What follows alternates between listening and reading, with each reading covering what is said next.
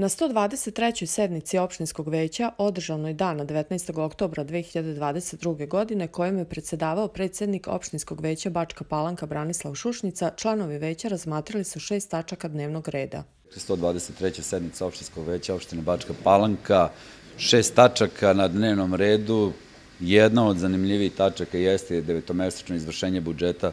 opštine Bačka Palanka za tekuću godinu i kao što ste čuli da su prihodi bili nepuni 58%, kao i rashodi koji su na 58%.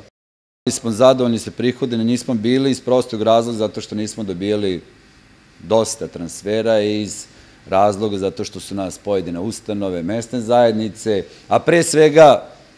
neodgovorni direktori naših osnovnih i srednjih škola više puta blokirali u prethodnom periodu, ali naravno taj problem smo rešavali u hodu i sad taj procenat izvršenja budžeta u ovim danima je mnogo, mnogo veći kada su prihodi porasli, a što se tiče samih rashoda, kao što dobro znate, sve najveće investicije su trenutno u toku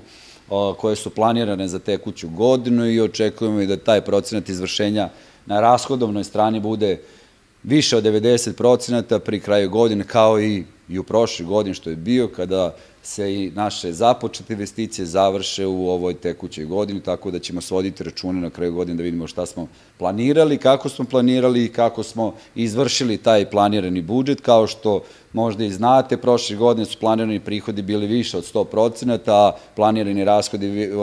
više od 92-3%, tako da se nadamo i ove godine sličnoj, sličnoj matematici, da će prihodi biti na planiranom nivou, ono što smo planirali da i dobijemo kroz transfere, porezi i sve ono što nas sleduje kao opštinski opštinsku vlast, opštinski budžet, tako da ja isto i rashode planiramo da sve započete investicije završimo i do kraja godine. Takođe, jedna od tačaka jeste i javna rasprava o budžetu koji samo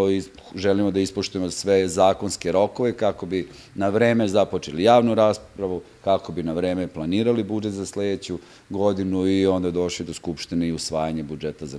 narednu godinu. Takođe, jedna od zanimljivih tačaka za današnju sednicu jeste i usvajanje odluke takođe o javnoj raspravi za blokove 51 i 12, odnosno za Merkur. Radi se o tome da ćemo raditi novi PDR po hitnom postupku iz prostog razloga, zato što mi Merkur kao opština želimo da prodamo. Pojavilo se više zainteresovanih kupaca, kako za uh, stambenu gradnju, kako za uh, pravljenje